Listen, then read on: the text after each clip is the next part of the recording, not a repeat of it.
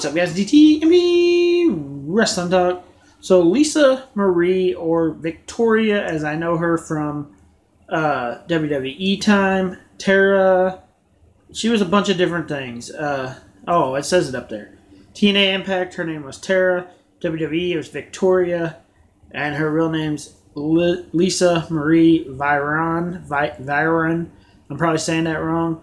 Um, she says this is going to be her last year as a professional wrestler. She is going to retire after this year. So if people want to book her, the booking inquiry, you just write to that uh, email there and you can book her for a show because this will be her last year wrestling. Her very last year wrestling. This is a woman that definitely deserves to be in the WWE Hall of Fame. She was an amazing, amazing wrestler. Comment below and tell me what you think.